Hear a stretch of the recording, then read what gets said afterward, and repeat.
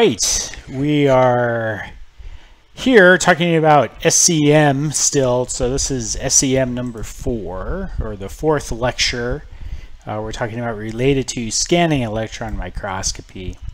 And I'm trying to pick up the new tradition or tradition I've been I've been trying to do for most of these lectures and have kind of an interesting picture.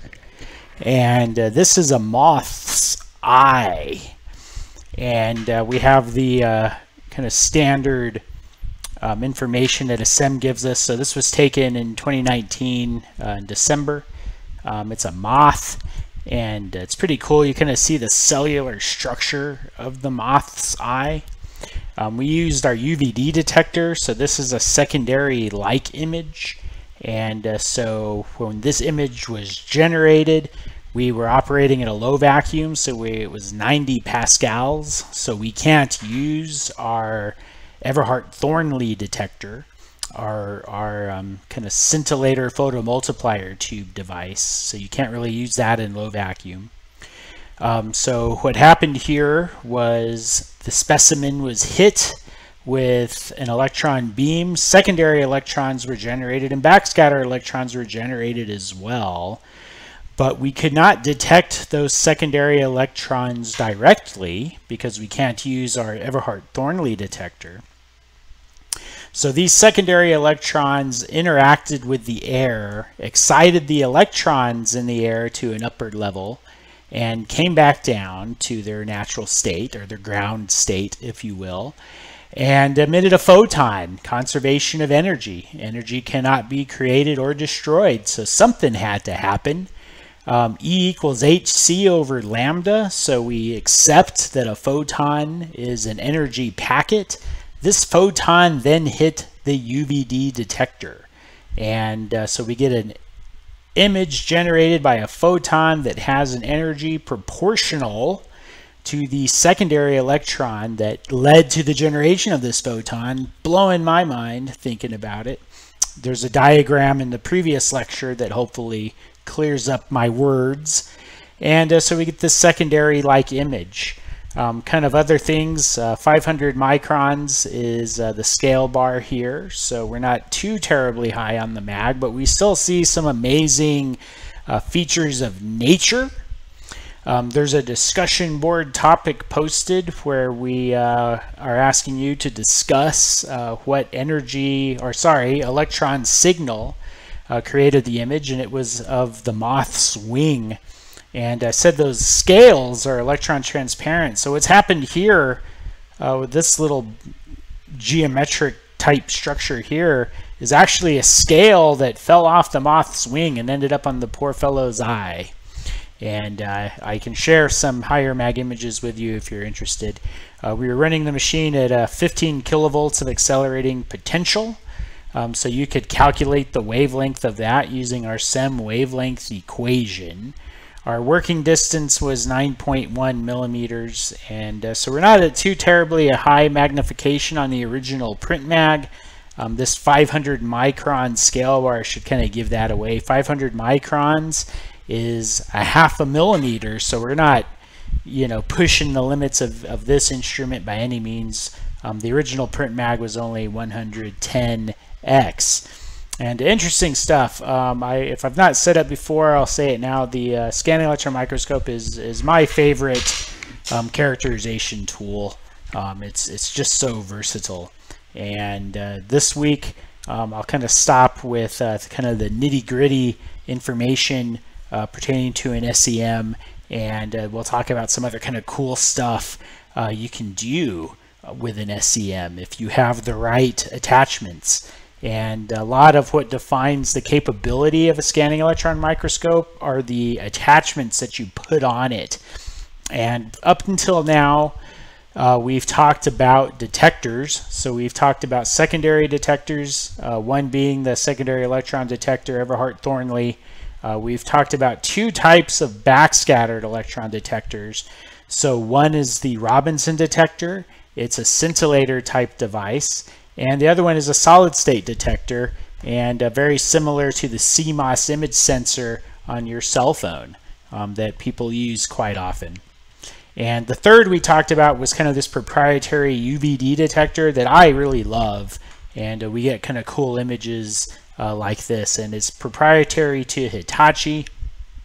Um, back in the day, if you wanted to look at organic samples without gold coating and without a high degree of dehydration, we would use what was called an environmental SEM, and you would have to put in a coupling gas. And I'll, I may, since I've mentioned it, not in this lecture, but in a later lecture, uh, kind of show at least a slide about an environmental SEM. Making uh, this slide, uh, this cartoon, I'm kind of kind of presenting this to kind of show we've talked about this far in uh, lectures one through three pertaining to scanning electron microscopy.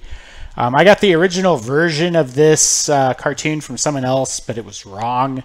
And so I've augmented it a little bit and made it correct and added a picture of, uh, of this handsome devil here. Um, you know, if you meet him, you're lucky. Wink, wink, nudge, nudge. Um, electron gun is where all the magic begins. And so this electron gun uh, could be a thermionic uh, emitter. It could be a secondary electron, I'm sorry, field emission. Excuse me. Three electron gun types. What am I thinking? Field emission, thermionic, or Schottky. Uh, thermionic's the cheapest, uh, like a light bulb. So this could be thermionic, field emission, or Schottky. Uh, the electron is accelerated through uh, this column. This is extremely simplified, by the way. Um, I'm not even showing the different orifices that these electrons travel through. And um, I'm, I'm, probably going to have to put in things I missed um, in terms of, you know, why the pressure in the column can be different than the pressure in the, uh, in the chamber. And I'll verbally tell you now, um, there's actually a bunch of very small orifices in, uh, in this column. And usually if we're meeting in person, I pass them around. They're little orifices. They're literally discs with holes in them that the electrons can pass through. Um, however, you can have uh, baffles here and run this part of the gun at a lower pressure. I'm sorry, higher vacuum. Yeah, okay. Higher vacuum, lower pressure, higher vacuum. We'll just speak in terms of vacuums. You can run the gun and column at a higher vacuum than you can the chamber. And uh, we talked about UVD on this slide. So the chamber is at a, is at a lower pressure, but the column is still at a high vacuum. That's the only way you can get electrons to go through it. And think about a room.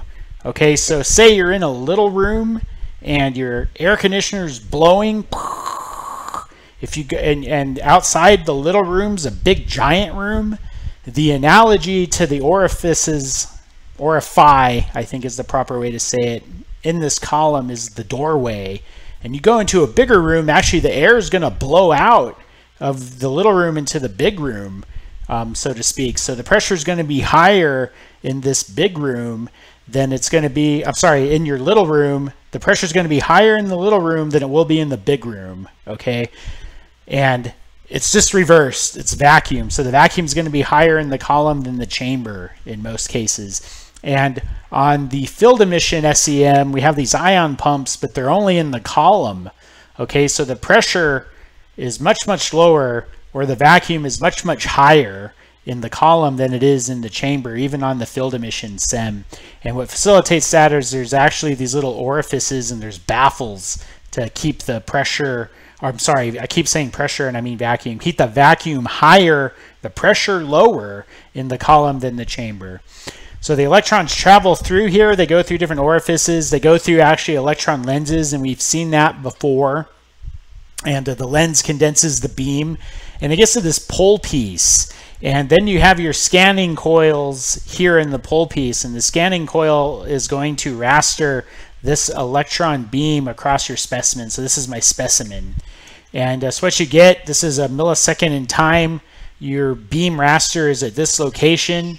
Um, the secondary electrons, I'm depicting secondary electron detector in this case. Um, I could have easily depicted a, a backscatter detector, but the detector would be here. And uh, we get 156 electrons. So now we're in our SEM with our, our most awesome operator, and uh, we get some contrast. We get an electronic signal. This is one pixel. Okay, so 156 electrons, we get a pixel, and it's a little dark, right? It's a little gray. Um, we come again to the second location. Again, get some secondary electrons uh, collected by this detector. And it was a higher amount of electrons, so 288 electrons. So it's brighter. Okay, so it's it's in terms of contrast, it's lighter, but it's brighter because there's more electrons generating the signal. Um, the process happens again. I'm not going to put numbers, but this has to be fewer electrons, um, more electrons, fewer electrons, almost no electrons. Okay, so we have bright, dark, bright, dark, bright, dark pixels. As a whole, they make these black and white images. And let me get to the other.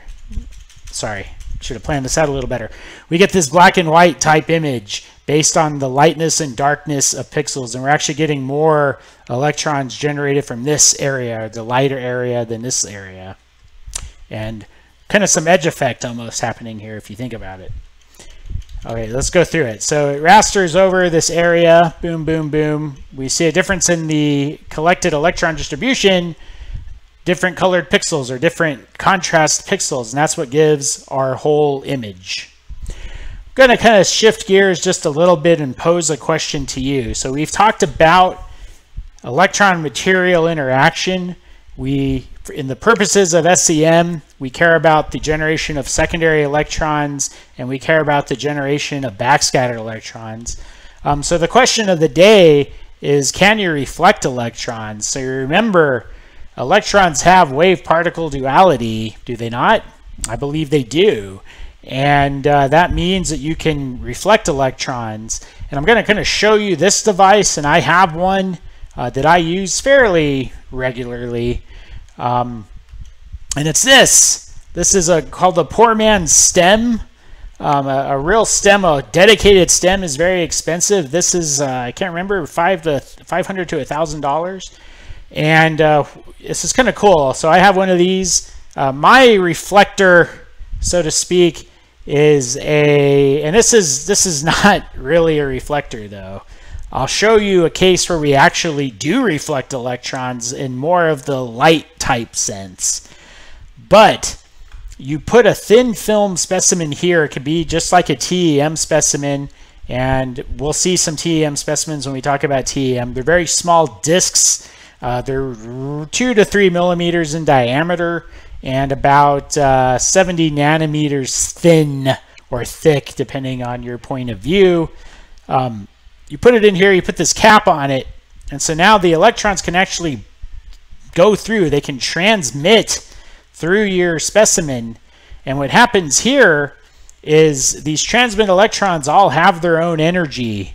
And we have this conductive metal um, that's angled, and mine is kind of a copper alloy. Um, the one they have here, I'm assuming it's aluminum, and it's very smooth. Okay, it's like a mirror. You don't ever want to scratch it or you're done. And uh, what happens here is you're generating secondary electrons now. And since your surface is perfectly smooth, the energy of your secondary electron that's emitted from this reflector, and I'm doing air quotes, reflector, um, is proportional to the transmitted electron. So the contrast you see on your image is dictated uh, by the transmitted electron. And so this is reflection-like. And when we get to the end of the lecture, I'm going to close it out with an example of more of a reflection mechanism uh, that's like looking in a mirror. It's actually kind of cool. We actually make an electron mirror. And uh, this is really cool. Um, I think I should share an image with you on this. Here's an image um, that we generated using um, this poor man's STEM. And it's a thin section of, section of a polymer blend. Um, and it's actually a shape memory polymer blend. And I've, I've, we've written papers, my lab has written papers about this material. We didn't use this poor man's STEM image uh, because we got a, a better image off of our dedicated STEM and I'll share with you imaging off of the dedicated stem um, in the next lecture. And uh, but this is still pretty good. You can still see phase contrast between uh, the different uh, polymers that are in this blend. Uh, this kind of elongated phase here is, is ABS, and uh, the not a lot or kind of not rough looking phase is um, ethylene butylene, and uh, so it's a rubbery rubbery matrix. And uh, we did, I guess we did this uh, a few years back now, but uh, very exciting stuff. Uh, you can get TEM-like imaging off of the SEM. note that the um, instrument is indicating that we're using the secondary electron signal, and it's because we are. Um, remember that the transmitted beam hits this angled reflector, so what the secondary electron detector essentially detects are secondary electrons generated by this reflector. And if you read the text, it's probably saying it in a more concise and simple way uh, than I am. Uh, so you can pause it if I'm not making any sense. But it's, it's really, really cool. And uh, I have one, so in the future, if you ever want to uh, see this in action, let me know. And I'm happy to uh, do this uh, kind of in-person stuff. Um, image, all right. So the main purpose of this lecture, actually, and even though I'll close it out with uh, some electron mirror stuff, um, is X-ray analysis and scanning electron microscopy. And uh, so one of the electron uh, material interactions that is generated when we bombard a specimen with an electron beam is X-rays. And if you recall uh, the generation of X-rays and X-ray diffractometry, you're like, well, yeah, of course. Uh, but here, we're not using the generated X-ray beam as our probe, okay? Our electron beams are probe, and what's given off as a signal are generated X-rays, okay? Not diffracted X-rays. So an X-ray diffraction, our signal that we're analyzing, if you will, is diffracted X-rays. Um, here, this is scanning electron microscopy. One of the things we can analyze is generated x-rays. And so if our specimen is copper and aluminum, we can detect the presence of copper and aluminum, that kind of thing. Kind of different flavors of x-ray analysis in SEM. And let me pointer it up is a spot scan, line scan, area scan, and mapping. And uh, mapping is uh, very, very popular uh, particularly if you're looking at new alloys. Um, X-ray mapping a lot of times is used in lieu of optical metallography.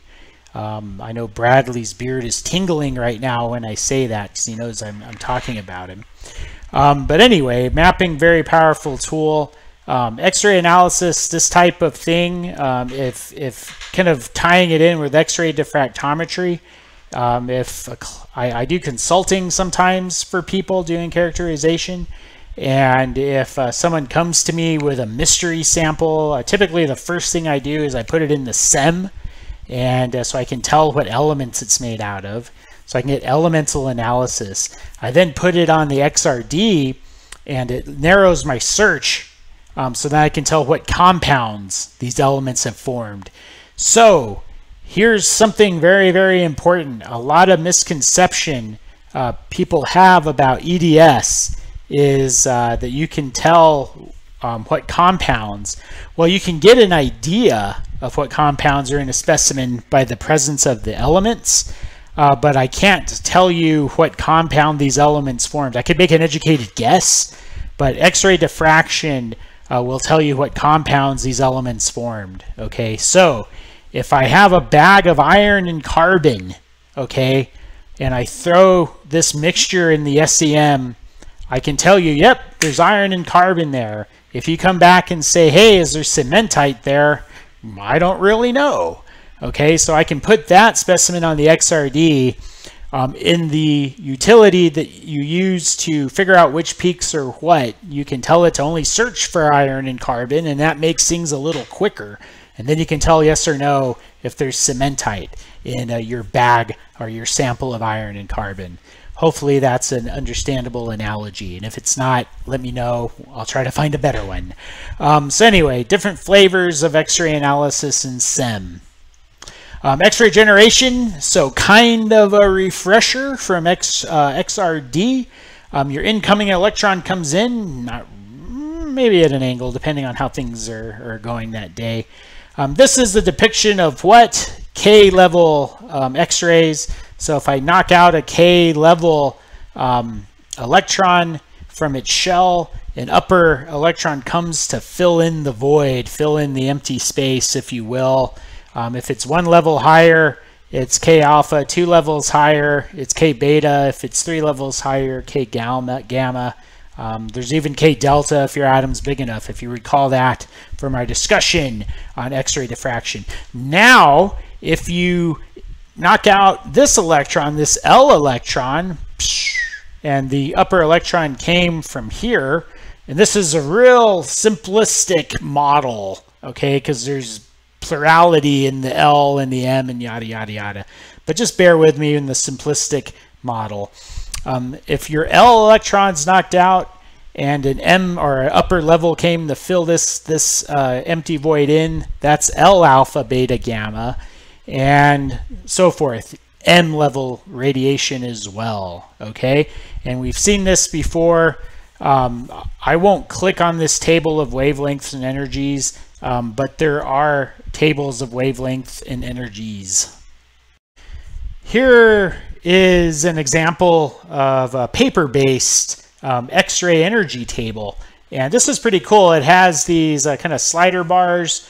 Um, I am not sure if they actually make these anymore.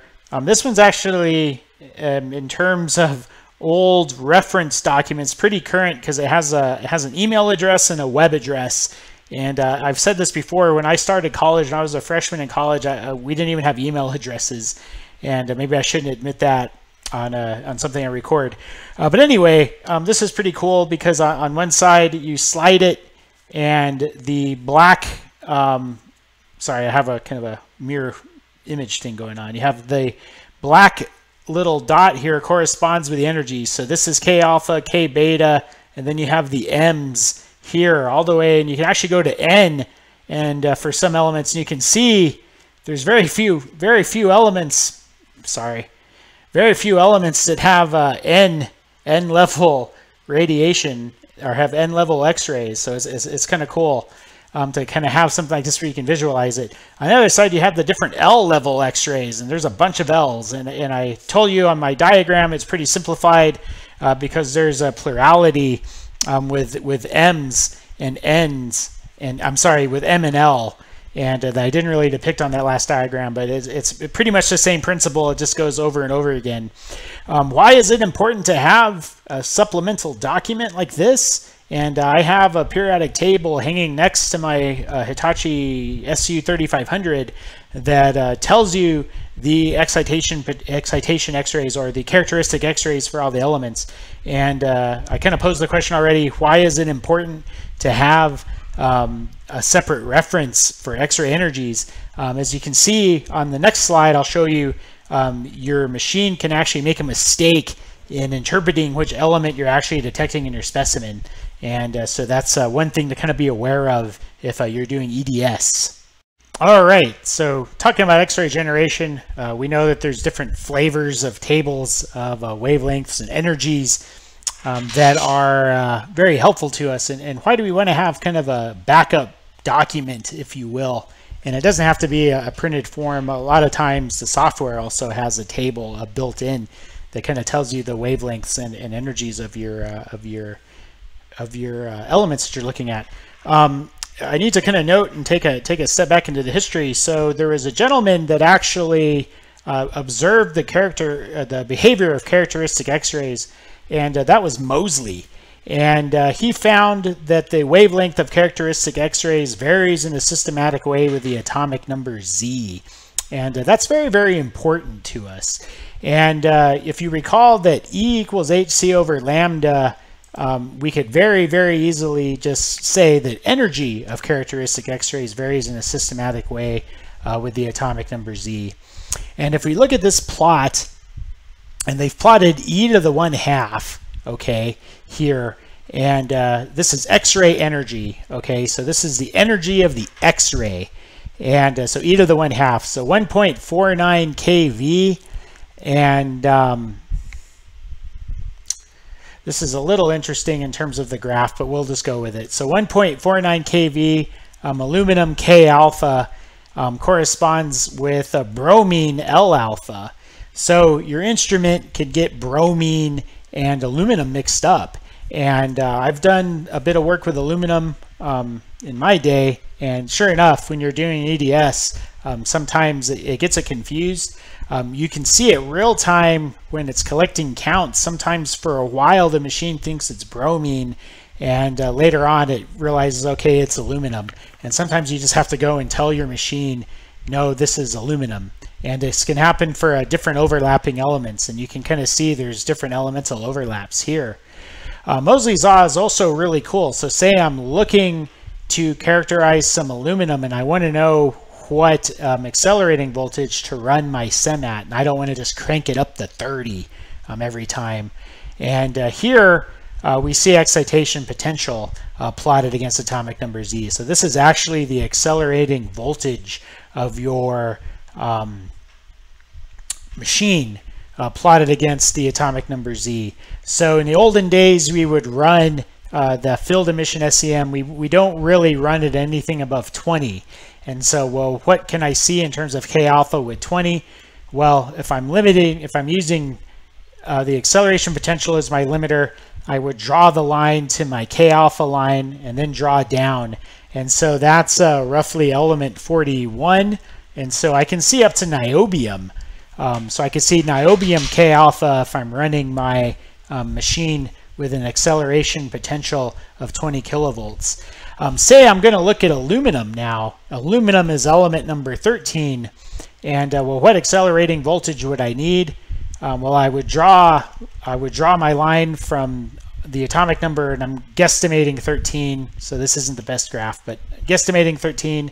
Draw it over to the acceleration potential, and that's roughly maybe two or three um, kilovolts. So roughly three kilovolts, I can um, detect aluminum. Now, you still run into the same problem, so this agrees with the other graph, even though I think the scale is a little funny. Um, if you look at bromine, bromine's element number 30, so we're going to detect the uh, L radiation uh, from bromine at that same acceleration potential, so we can have agreement between these two graphs. Uh, but Moseley's Law is a very, very interesting machine. Um, so say you can only uh, get up to um, 15 kilovolts which is the uh, acceleration potential of the tabletop SEM. Um, I'm going to kind of do this by hand. You can actually see a fair amount of elements uh, with 15 kilovolts of potential. Um, what's kind of cool when we do X-ray characterization, uh, we can take advantage of elastic and inelastic interactions. So the generation of X-rays is an elastic process and the generation of backscattered electrons is an inelastic process. And uh, so we can use this hand in hand, and we can use a backscattered image um, in conjunction with our um, X-ray maps. So this is an example of X-ray mapping. I showed this earlier in the semester. Um, so we can use a backscattered image in conjunction with our X-ray maps to kind of help characterize our, our uh, material. And uh, this is actually, it's unreferenced. I, I, don't know if I got it from somewhere or what, but I'm 99.99% certain this is Dr. Varma's work.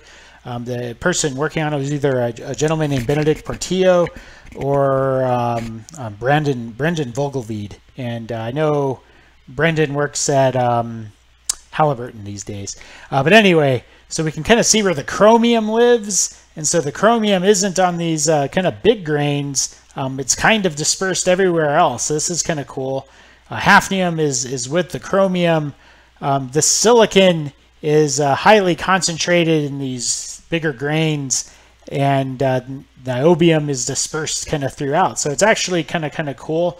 There are some spatial problems that you can kind of run into, and we've kind of seen that with the bulb of excitation uh, depending on your acceleration potential. And they were running this bad boy at 20 kilovolts, so pretty cool. Um, kind of again showing this kind of bulb of excitation and I don't this kind of throws things off because it's kind of counterintuitive because it's saying that um, L line is coming from deeper in the specimen. But anyway this is what Hitachi's telling us. Uh, but this kind of corresponds with what I'm saying here with spatial resolution. It's because the x-rays aren't coming from like this pinpoint area. Okay, and again, they're showing kind of a differentiation uh, between K scatter and L scatter uh, with your X-rays. And so um, L scatter would then have less spatial um, resolution or lower resolution than K generated X-rays. So that's kind of something to think about as well. And maybe a reason to go to a higher um, acceleration potential. Um, but again, you're limited. Um, you can't see every element with uh, at K uh, with the acceleration potentials of a SEM.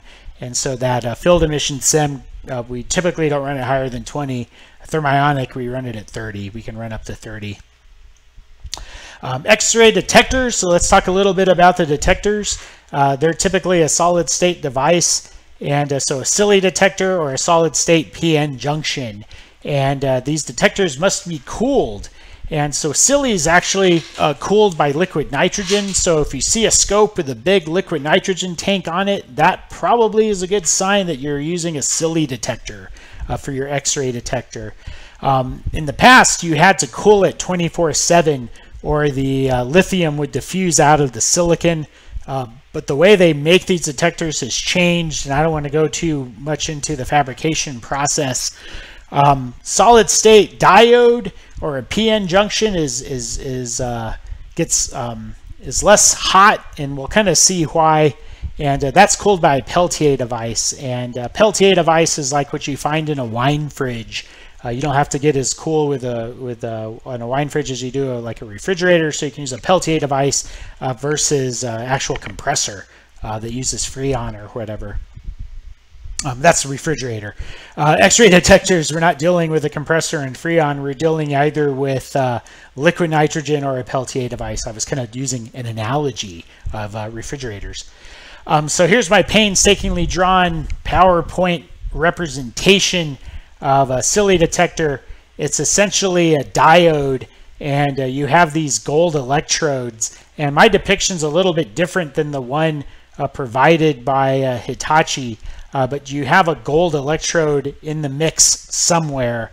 And I'm going to go with uh, the Hitachi schematic being a little bit better than mine.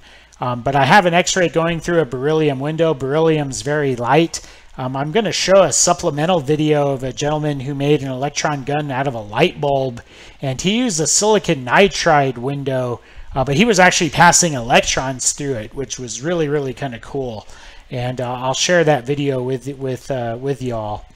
Um, so this is uh, kind of true and I'll show you, I think, a more correct schematic than my painstakingly drawn PowerPoint schematic, but the text is right on. So the X-ray causes an ionization process in the SILI detector. Um, that process leads to the flow of a, basically a characteristic electric current, and that's based on the Z number. And it's actually based on the X radiation number, so I'm kind of correct there, uh, which can lead to elemental analysis. Um, if you look at this Hitachi uh, provided schematic, it's a little bit more technically correct than mine. And uh, so you have this X-ray, um, it hits this electrode, um, you, you emit an electron and it kind of goes through this material here, passes through the silicon uh, lithium and hits this N layer. So this is kind of a PN junction, but not really and then you have your gold electrode on this side. So you're hitting a metal with an electron. You then have a bias uh, between these two electrodes. And so your um, electron passes through this detector, hits this electrode. You have an electronic signal. It's this pulse current. It's an electronic signal. It's a weak signal, so you have to go through these amplifiers, okay? So then you have electronic signal processing, and that's how you start getting your spectra. One thing I want to point out here um, is your voltage is pretty high. And so that kind of tells you, they say your bias voltage is 500 to 100 volts. Well, if you're high voltage, uh, that means you have pretty much no current because this is essentially a PN junction running in reverse bias. Uh, when you run a PN junction in reverse bias, it's hot. And so that's one of the reasons you need to cool these things with liquid nitrogen. And you have Um, not quite a PN junction like we're talking about as a semiconductor device, but it's pretty close, okay? And it gets hot, and it gets hotter uh, than uh, your solid or your semiconductor like Peltier, sorry, Peltier cooled device. And we'll see that example later.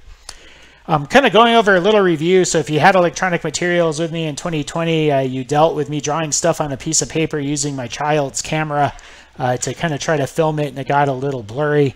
Uh, but kind of a refresher, a PN junction, uh, you have this depletion zone and it's also called a metallurgical junction in the olden days. Um, so here I'm kind of depicting an arsenic or phosphorus uh, type of material. Uh, that's not necessarily the case here.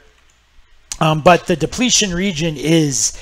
And so if you run in forward bias, your channel widens and you have high current and you can do that with a low voltage and your channel's wide so more electrons are going to pass through at a given time so there's a higher cross-sectional area filled with a bunch of electrons, so you have essentially a higher current density. Since the channel's wide, they don't have that much trouble getting through. So forward bias in terms of device is a cooler thing temperature-wise, okay? Um, if we look at reverse bias, your channel is actually shrinking and we're at a really low current and this is actually doing it some favors. You're actually pretty close to zero current when you're in reverse bias, okay? And uh, but what happens here now is you have kind of this thermally react, thermally um, driven electron hole pair interactions, and your depletion region, your so-called depletion region, is growing, okay? But you're really really low current.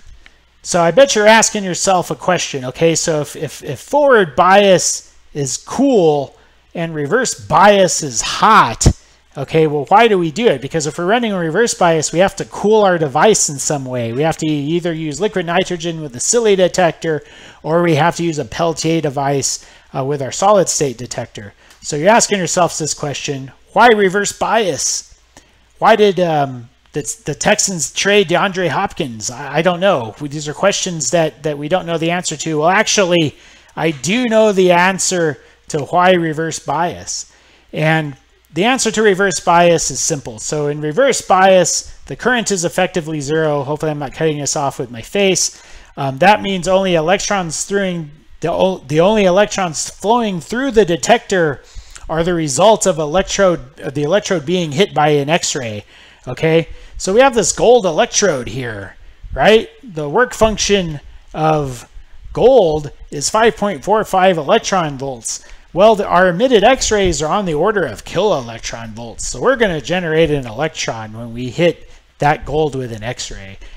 The only electron signal we're going to get is um, based on the emission of these electrons by the electrode or our solid state device, and we'll see another version later. You have to cool it because it's getting hot. You don't want phonons to mess up things, basically. That's why reverse bias answers this question. Why they traded DeAndre Hopkins, I don't know. Um, here's a solid state device, and uh, this is a, a, silicon drift detector. And uh, this is what I have on the 3500. The TM1000 tabletop also has a, a silicon drift detector. So we have this P-type and N-type material. And uh, then we have SiO2 in a metal. And then we kind of have this anode here. Well, the this too is run in reverse bias. We have a PN junction. So again, it's, it's virtually no current um, due to the, the bias, but we're actually running at a, at a reasonably high voltage. Um, this is kind of a large window. And so for these STD detectors, the bigger the window, uh, the faster your collection is going to be because the more x-rays are going to collect. So I have a reasonably big window on my machine, and I'll show you which window I have. Um, what happens is you, you cause an electron to be um, emitted here, it drifts. That's why it's called silicon drift detector. It drifts from some part of the detector to this anode, and spatially it doesn't really matter. It, it'll get there eventually. It'll drift there. That's why it's called a silicon drift detector. Doesn't get as hot as a SILI detector, so we can use a Peltier device. Still gets hot due to the reverse bias condition. That's why we're running a reverse bias. Solid state PN junction here We want it that way because we want the only electro or sorry, electronic signal we generate to be generated by the X-ray. That's why reverse bias. Um, how do we know if we have a good detector? Well, the standard is the full width half maximum of your magnesium K alpha peak.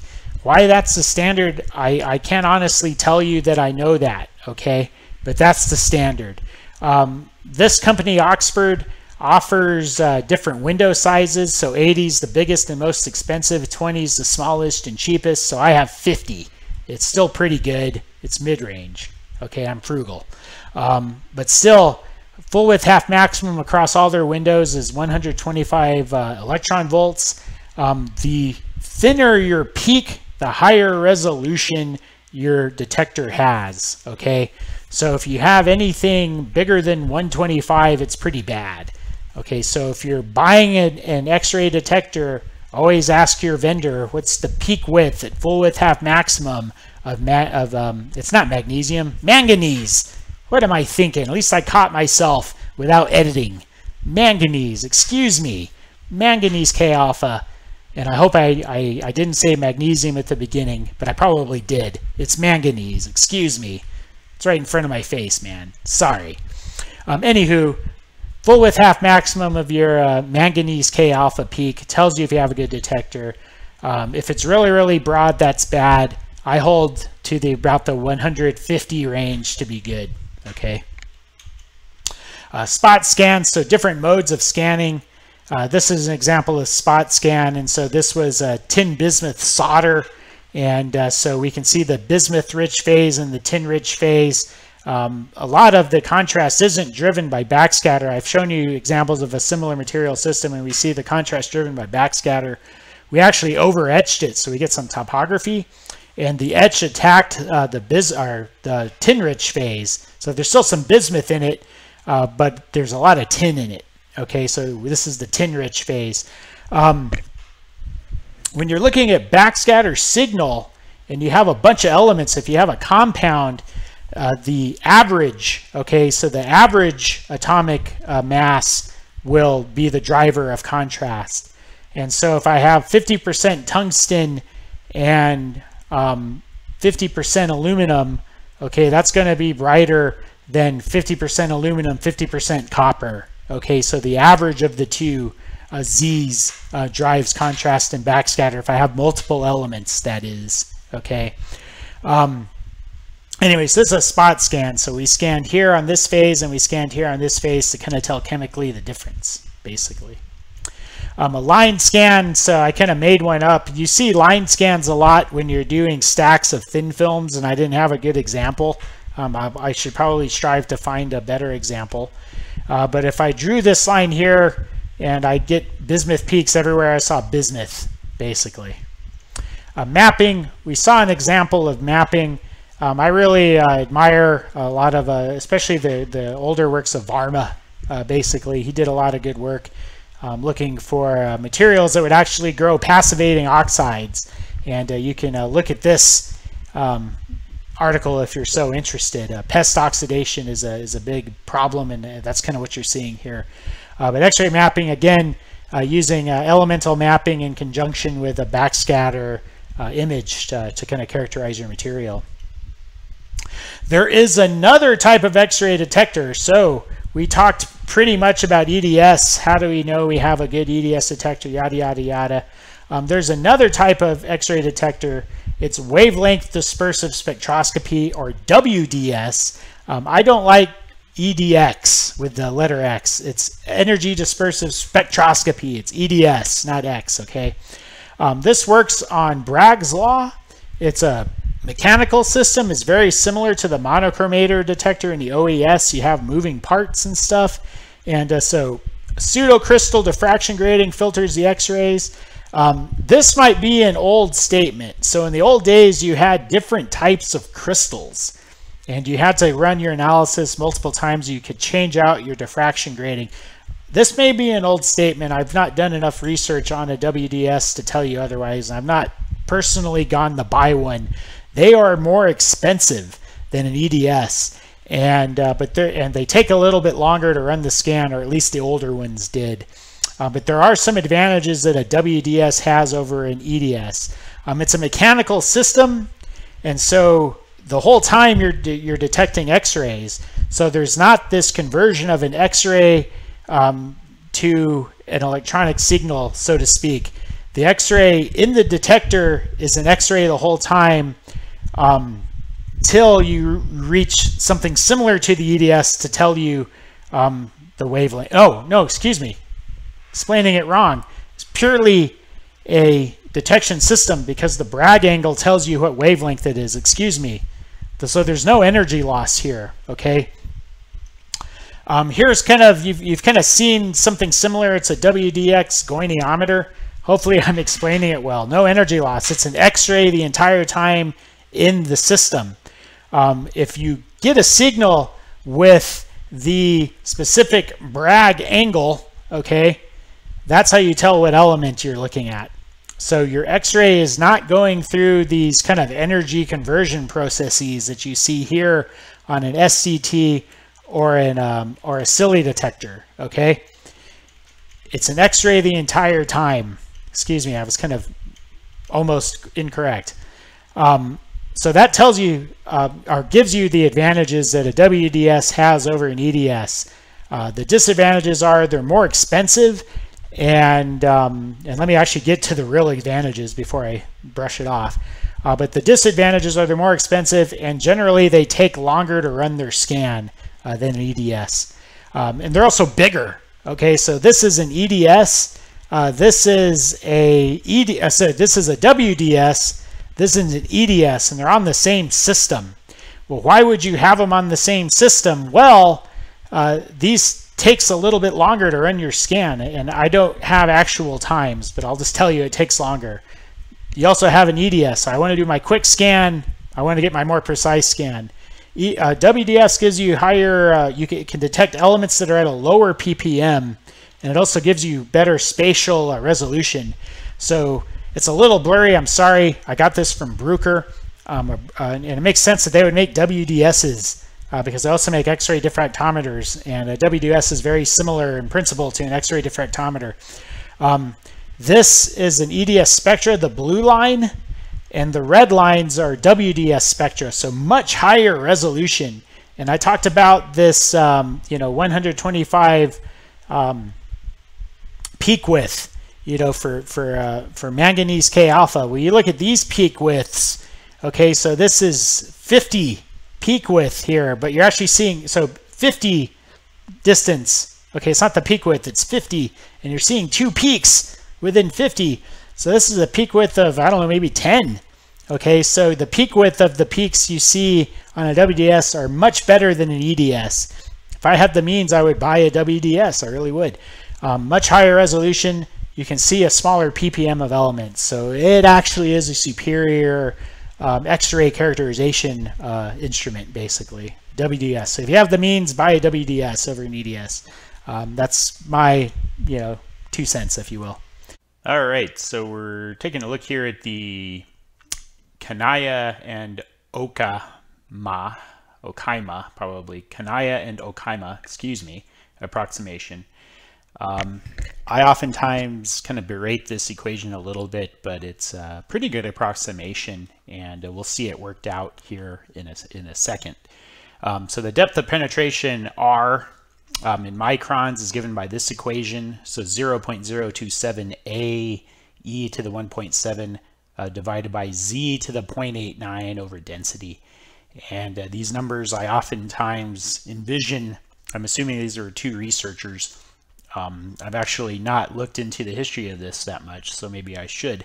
But I kind of envision uh, these two individuals arguing over these coefficients, you know, like, no, it has to be 1.7, but I want to go 1.8. Anyway, um, the units do not cancel, so there's no point in doing a dimensional analysis on this one. However, when you plug in the numbers, uh, the numbers you use have to be in uh, these units here. So Z is atomic number, which of course is unitless. Um, it's raised to the 0.89.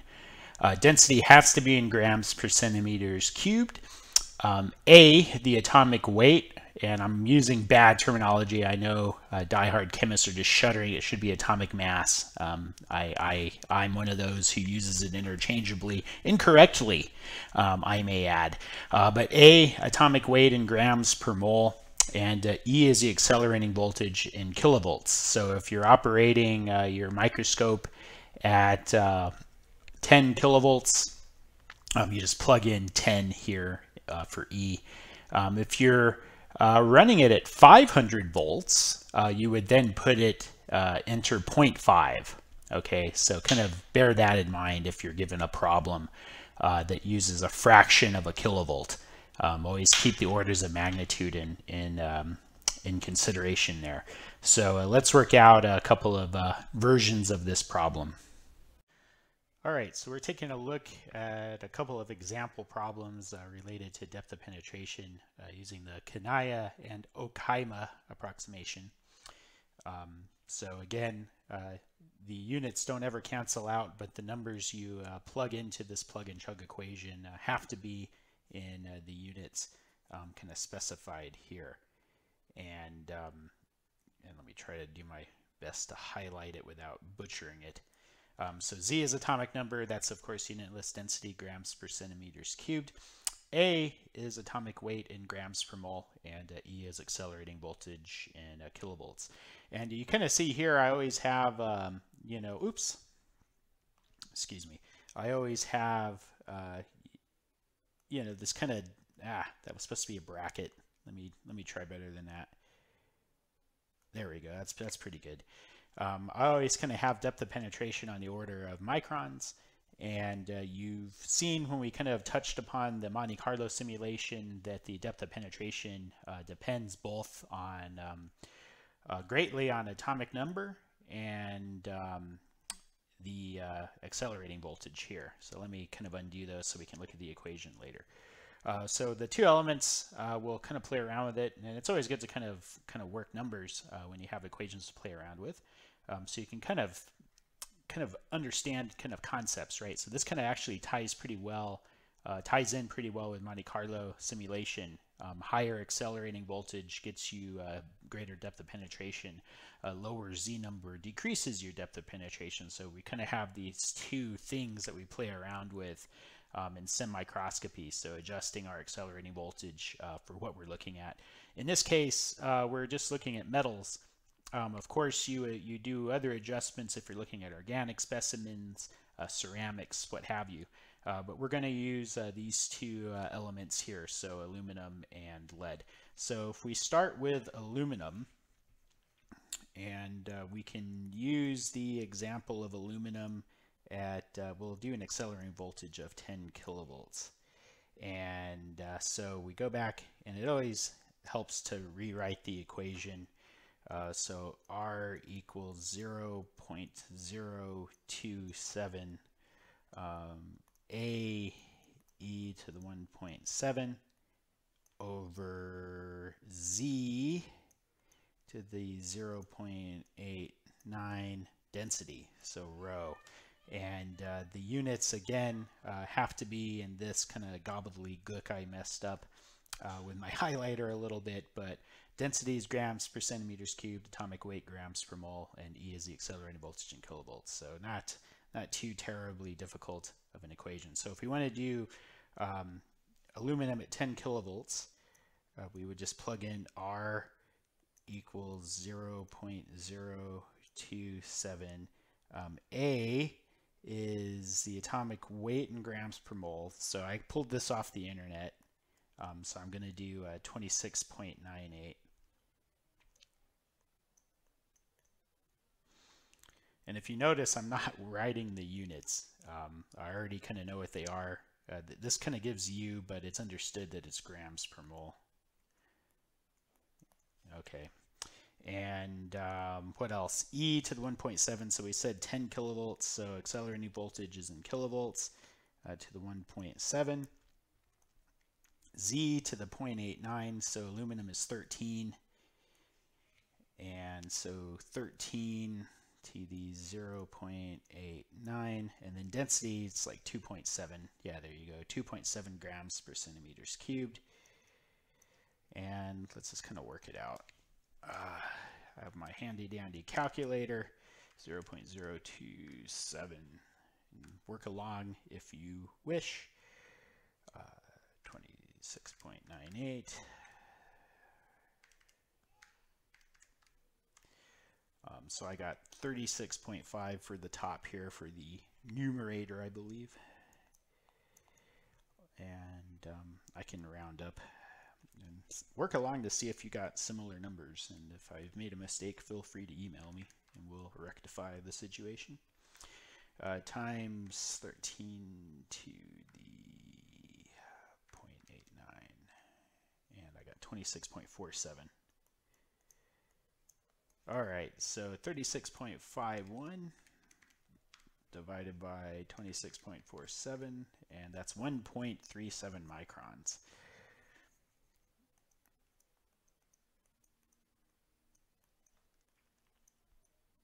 And that's pretty cool because I'm in the range of uh, what I kind of depict in my painstakingly drawn PowerPoint uh, diagram of the electron beam slash material interaction. So I'm in I'm in the range of one micron, so I'm not getting anything uh, too terribly wacky. Um, let's take a look at lead, and we can do the same accelerating voltage.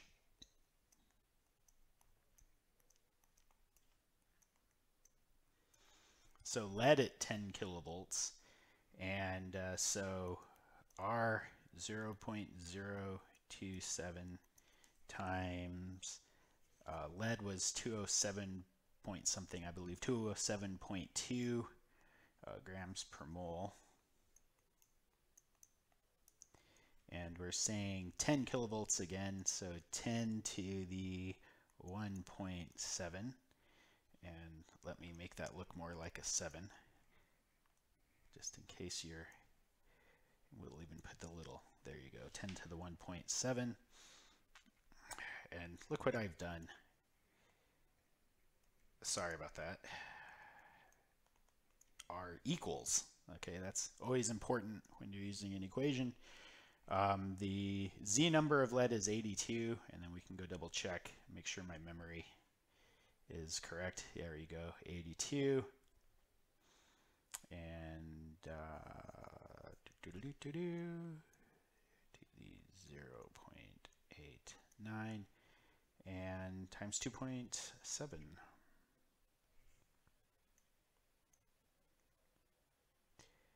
No, excuse me, it's the density. I got this number confused with density. How embarrassing. Density is 11.4. My bad. So 11 point... Dope. Okay, 11.4. See if I can make this as painless as possible. So 0.027 times 207.2 times 10 to the 1.7 is a 280 uh, let me just round it 280.4 I should have some agreement about significant figures. Okay 82 to the 0.89 times 11.4 is uh, 575.7 and that's going to be very little penetration as compared to aluminum. So 280.4 divided by uh, 575.7 and I got 0.48 and we could round it up to uh, 0.49 or even 0.5 um, but R equals and I'm gonna write out the digits from my calculator. 0.487 and then we can just kind of round it up.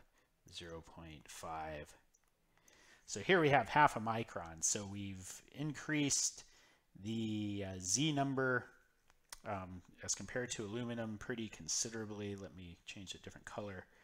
So for aluminum, we had a um, low Z number, um, kind of low atomic atomic mass, and a low density here. we have kept the accelerating voltage the same. And if we compare to a higher Z number, so for lead here, um, we see that we get far less of a, of a depth of penetration. Um, so let's look at lead again.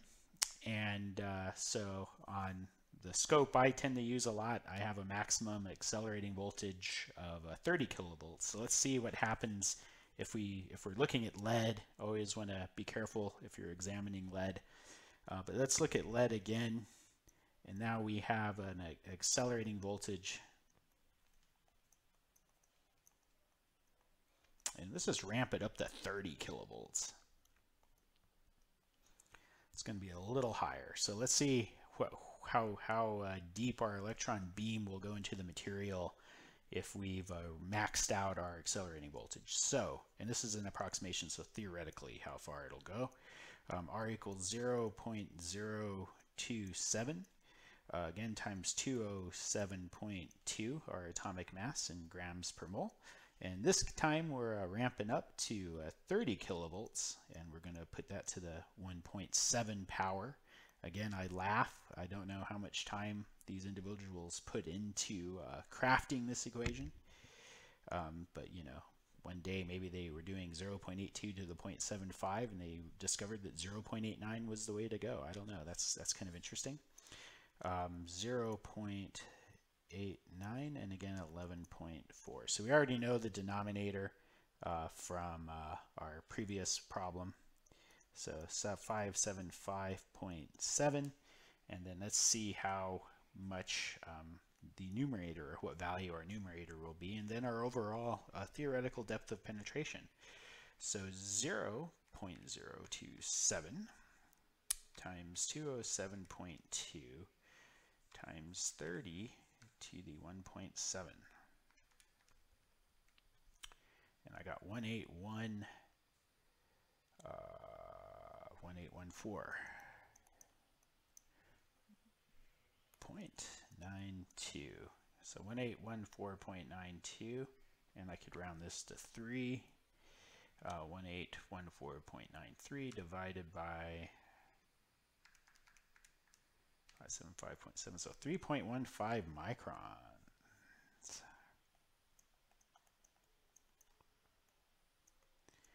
So 3.15 microns. So when we crank it up, we get a much higher uh, theoretical um, depth of penetration. And I kind of know. Um,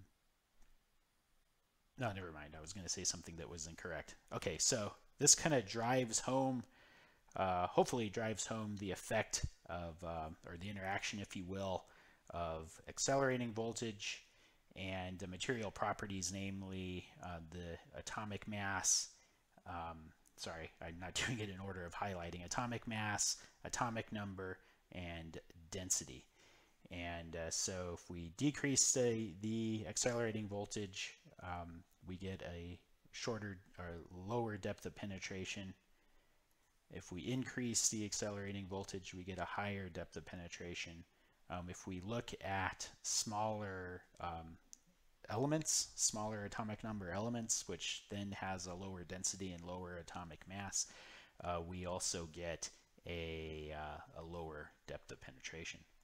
And uh, so hopefully uh, this kind of works hand in hand for you all with uh, the kind of Monte Carlo simulation and hopefully this is a good example of using somewhat of a nonsensical equation, but it's really just an approximation um, kind of like uh, some of the approximations we've seen for estimating um, SEM wavelength. Um, anyway, if you have any questions, always feel free to email. Thank you. All right, so kind of revisiting uh, the generation of secondary and backscattered electrons, um, we kind of had this cartoon where, uh, you know, we had the incoming electron, there's an inelastically scattered electron, and that becomes our secondary electron. And uh, we then had kind of a similar diagram uh, where we have our incoming electron and uh, we have our elastically scattered electron. So the incoming electron doesn't do anything, doesn't interact with the, the orbiting atoms, and um, still trying to figure out what atom this is. Um, I don't quite think it's helium, right? It's it's like ionized, weirdly lithium, maybe. I don't know. Uh, but anyway, you have this incoming um, electron goes around the nucleus, doesn't hit any of the um, orbiting electrons, makes its way out. Okay, and I kind of show this. This is a really simplified model. Um, I wanted to kind of talk about kind of primary and secondary events. So this would be like a primary event, so-called primary event. And uh, so this would be backscattered electron one, okay, is, is how some texts uh, refer to it as. And this is secondary electron one. And it's not quite that simple. And um, so I kind of have this array of, of three atoms. And uh, so we have um, backscattered electrons. They could kind of take different paths. And I'm sorry, I, I kind of drew it by hand. Uh, but we have our incoming electron. Uh, this one's going to go around this nucleus. It doesn't make the full turn, and it goes into the neighboring atom and uh, comes around its nucleus and comes out. And uh, it's still inelastically scattered. Okay, and uh, so it never interacted with an orbiting electron, so we would kind of call this BSE2. And uh, it could also have gone through more than one atom on its way out. So it went through three atoms, okay? So we have going through two atoms and now three atoms. So it comes in, goes around this nucleus, goes through this atom, goes through this atom, then makes a beeline uh, for your backscatter detector. So that's a secondary uh, detector. Um, Sometimes it's hard to visualize that this happens, but it does. And if it didn't happen, you wouldn't be able really to get uh, diffraction patterns and that kind of thing. Um, it is said that this kind of these secondary uh, events, um, and they're not secondary electrons, they're second scattering events, are more common. And um, I don't honestly know how, how people know that, but that's what's said. Um, we can kind of look at the same kind of depiction uh, for a secondary electron now. So it comes into this atom. Uh, at this point, it could be a backscattered electron. It goes into the next atom, but oh, nope, it hit the orbiting electron, knocks it out. It becomes an SE2 electron, so secondary 2 electron. And uh, we know that this happens because we see edge effect. Okay, so uh, coming in from the beam, the electron kind of has to travel to the edge, okay, and be emitted from these second kind of other surfaces and go to the secondary detector. Um, so scattering isn't a you know one electron one atom event, and I didn't want you to leave this class thinking that. Um, anyway, just just kind of wanted to cover that. Uh, next thing uh, we're going to talk about is uh, um, charging. Um, charging, charging's a big thing. And uh, charging again, electron yield um, is de depicted by um, delta. And I don't talk about this with, with, with really great detail. Basically, if your sample's not grounded, okay, it, it's bad news for imaging. And Hitachi, and I don't even know, maybe other texts like to go through this kind of positive negative charging. And so if delta is greater than 1, um, you're positively charging, okay? And so electrons in versus electrons out. Okay, so if you have um, more electrons in than electrons going out, they're saying you're positively charged. If you have, if delta is less than one, you're going to have what? You're going to have uh, more electrons going out than going in. You're negatively charged. And so if you're negatively charged, you generally get these clouds um, if you're positively charged, and, and this is interesting, um, so that's the difference between um, black contrast and white contrast. Black contrast, your specimen's basically a big hole, and you don't get any signal at all. And uh, white contrast is clouds. So the the um, problem is more of when you have uh, more electrons going out than you have coming in. And uh, because the other way you can kind of fix that by increasing your accelerating voltage and kind of changing orientation of your sample and stuff like that. Uh, but the problem where you have more electrons coming out than going in is bad. And uh, so they have uh, examples here of charge up and uh, two different examples. One, they can't even get an image at all. Uh, this is supplied by Hitachi. And uh, here you kind of get kind of this glowing. And uh, I, this actually doesn't look that bad to me, these images here. But still, um, they're kind of showing these as examples of, uh, of bad things. Um, all right, three ways uh, to reduce charging. Um, these are my kind of tried and true methods. method one would be just simply lower uh, your accelerating voltage. Um, so if you're running at 20, you get charge up, try lowering it to 10 or 5, or some machines you can even go to a fraction of a volt and to see if that helps with your uh, your charge phenomena. On the TM1000, it's a static uh, accelerating voltage of 15 kilovolts, so you can't really do uh, way one or method one. Um, so you could go to method two, and you could coat your specimen with a conductor. And uh, common conductors are gold, um, a gold palladium alloy. And uh, gold palladium actually has better wetting characteristics than gold alone. Uh, so it's pretty much desirable as a target. Uh, carbon is another carbon common target, as well as chromium. And uh, use a VP system if you have one. And uh, a lot of times people don't realize that that TM1000 has the charge suppression mode. And so give it a go. It might actually work. It save you uh, some time in coding. Um, I will tell you, a lot of times people don't like coating their specimens uh, because they think it's going to somehow interfere uh, with their results. And uh, sometimes people do overcoat. And so if you've coated to the point where you can see the film of coating on your specimen, that's a little too much. Uh, the coating is generally on the order of a couple of angstroms, and uh, you really shouldn't get an optical response from your coating um, if you're doing it right. Um, another thing I need to point out is that uh, backscatter electrons, if you have a backscatter detector, it's less susceptible to charge phenomena. And uh, if you look at what they're talking about here, um, I think they said, no, not on this one. On this one, they were talking about, and maybe not even this one, I thought somewhere they were talking about uh, secondary electrons somewhere. Maybe I just saw it here, but sometimes um, people don't realize that backscatter electrons are not as susceptible to a charge uh, to charging phenomena. Um, kind of sample preparation. Uh, so the FESEM, um, these are just kind of some notes. Uh, they're small, right? So you don't really want them to be two inches uh, in diameter. Uh, the height's determined uh, by a height gauge, and it's generally an inch is the limit. So you actually aren't putting giant uh, specimens into the FESEM. Uh, the 3500 and the tabletop, you can actually put bigger um, specimens in it. Uh, so sputtering enhances the image quality. Uh, the sample must be grounded to the specimen stage.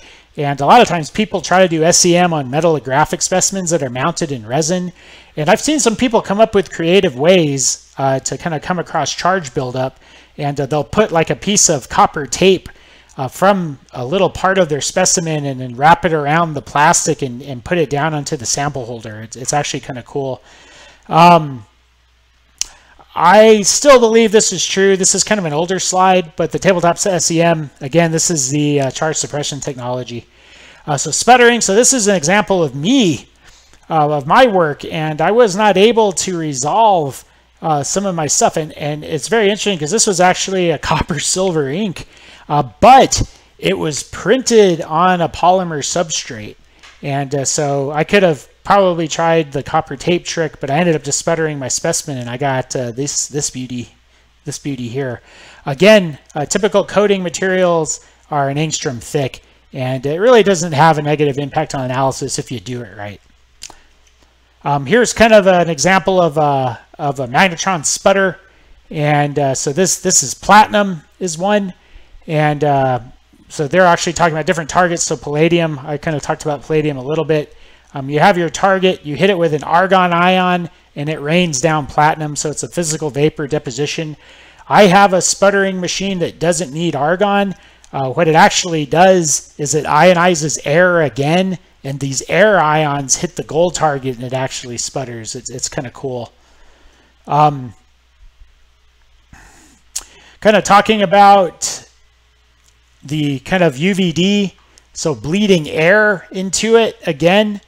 Um, so this is grounding. So this is the depiction of grounding, uh, specimen coating. Um, in this case, according to the caption, I could also put a piece of copper tape like some people do. And so the extra, extra electrons essentially ground. And so you have uh, your delta equals 1, basically, so you're not charging. Um, here, this is showing how, and they're showing, they're actually depicting it being used with an older school uh, backscatter electron detector. Uh, but you have your gas in here, and um, it's a non-conductive specimen, so your gas is positively charged, so it sucks off uh, the extra electrons, basically. Uh, so that's what these two uh, Hitachi provided figures are telling us. Um, I kind of want to end this lecture where I began, and I'll pose this question, what do you think this is? And I'll give you a couple of seconds to think about it. Um, we've seen this shape before in uh, previous lectures, and uh, it's really kind of neat. And this was a result of super high charge up. And I was running at actually a surprisingly low kilovoltage, but um, I was looking at a, at a, at a polymer bead, and uh, it caused really, really bad charge up. And I actually got this image, and what it is, is it's actually the backscatter detector. So I was looking, I was using backscatter imaging. It's actually the backscatter detector. And uh, some notes before I forget. Um, generally, it's running in reverse bias, and uh, but you can also forward bias it, so you can change the bias and uh, repel electrons, basically. So that's another thing. But anyway, this picture is this. It's the actual detector. So I effectively charged it up so much that I was making an electron mirror. And so there were so many electrons built up on the specimen, the electrons uh, from the beam basically bounced off the charge and hit the detector, bounced back, and basically showed me an image of the detector. Um, this isn't an unusual thing, so they're all glowing, so that means they're all active, okay? They're all um, biased in a way. They're all energized, if you will. And so some technicians will actually use this as a diagnostic technique to tell them if one of the quadrants is out. Um, this, uh, these folks here at Rochester uh, were really good at making electron mirrors, and they actually got an image of the whole interior chamber of their SEM. Uh, so you can actually see the pole piece, you can see the Everhart Thornley detector, and uh, it's, it's really kind of cool. So it's an electron mirroring process. So to answer the question of the day, you can kind of pseudo reflect electrons and you can actually honestly reflect electrons as well. So pretty cool. Um, this, my friends, is a good place to stop. Hopefully I didn't ramble on too much and uh, hopefully you found this informative. If you have any questions, always feel free to email me. Thank you very much for your time. Oh my. It's the end of the lecture. If you have any questions, you can email me at droberson at utep.edu.